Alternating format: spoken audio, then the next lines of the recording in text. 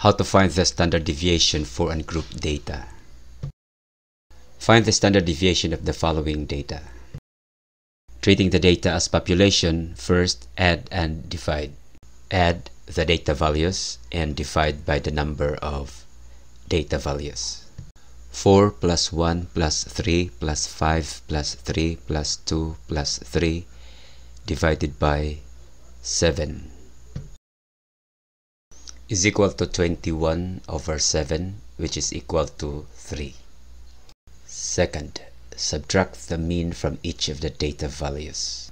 4 minus 3 is equal to 1, 1 minus 3 is equal to negative 2, 3 minus 3 is 0, 5 minus 3 is equal to 2, 3 minus 3 is 0, 2 minus 3 is negative 1, 3 minus 3 is 0.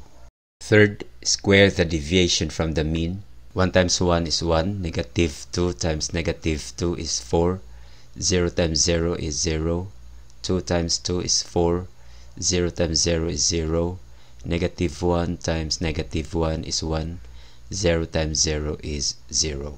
Fourth, find the average of the squared deviations.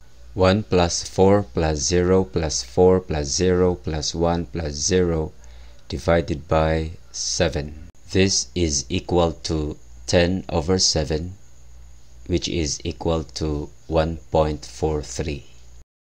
Fifth, find the square root of the average of the square deviations. The square root of 1.43 is equal to 1.20. How to find the standard deviation for ungrouped data. 1. Find the average of the data values. This is the population mean.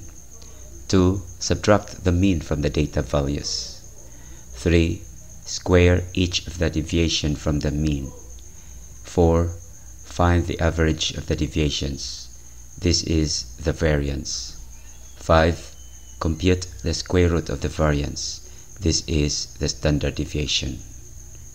Again, the standard deviation is just the square root of the variance. Thanks for watching.